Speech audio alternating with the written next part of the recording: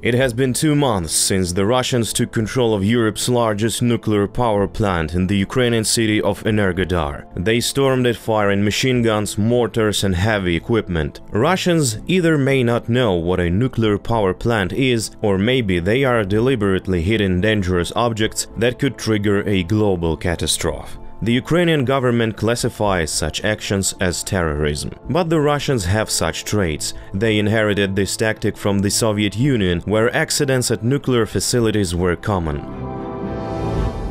Peaceful atom in every home. This was one of the slogans of the USSR. The empire built nuclear power plants everywhere. They covered a significant part of the country's energy needs. And it seemed that everything was supposedly good. Until April 1986, when the greatest nuclear catastrophe in human history occurred.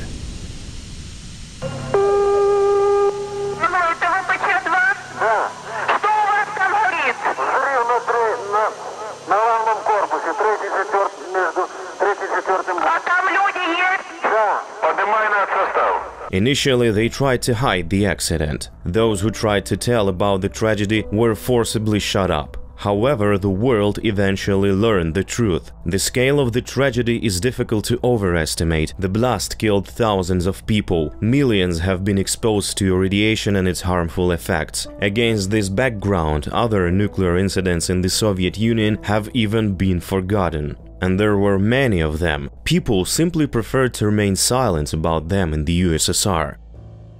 The Soviet Union had problems with its nuclear program at the outset. In September 1957, 30 years before the Chernobyl accident, an explosion occurred at the weapons-grade plutonium plant. It happens near the town of Kyshtym in the closed settlement of Chelyabinsk 40, which did not even officially exist on the maps. Банку эту рвануло.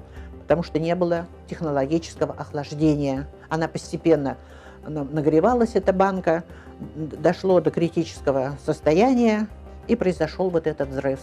Опыта, опыта эксплуатации и хранения этих продуктов не было никакого. Никто не знал, чем это может кончиться. In the end, radioactive strontium-90 and the cesium-137 were released into the atmosphere. Their half-life is up to 30 years. The dangerous cloud stretched for 350 kilometers and covered the territory where 270,000 people lived. Residents of 23 settlements had to be relocated, and fish from rivers and lakes near the place of the explosion even today is not recommended for food. And this is due to the tried human mistakes which people did not want to tell. After all, just like the incidents in the Navy, one of the loudest was in October 1986. The K-219 submarine was off the coast of the United States. It carried 15 nuclear warheads on board. There were also a nuclear charge on the torpedoes. Such weapons could wipe out the whole region, and if ordered by the command, the vessel would have to hit American И cities. мы прекрасно знали, мы не стреляли по военным базам, там, точечным каким-то целям и так далее. Мы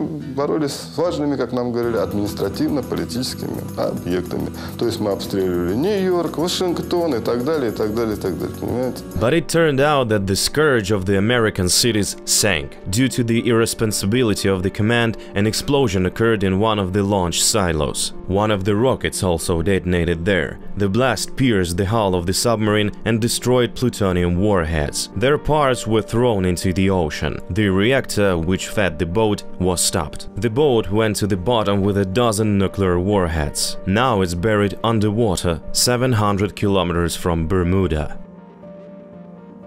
Irresponsibility and indifference to its citizens moved from the USSR to Russia. No wonder the Kremlin calls itself the successor to the empire. In August 2000, the Kursk nuclear submarine sank during an exercise. It was later established that this happened due to two explosions on board. 118 crew members were killed. Immediately after the incident, the Russian authorities, in the best tradition of the Soviet leadership, remained silent about the lost submarine. Putin, who had become president six months earlier because of the fight against mythical terrorists, did not need publicity. And a few months after the incident with Kursk, when he was asked about the submarine, he talked about it with a smirk on his face. Tell me, what happened with the submarine? He doesn't care about people, he doesn't care about losses. The main thing for him is to keep the whole world in fear. He and his minions have been always trying to scare the world with their nuclear missiles. But it's not only weapons that should be feared, the so-called peaceful atom too.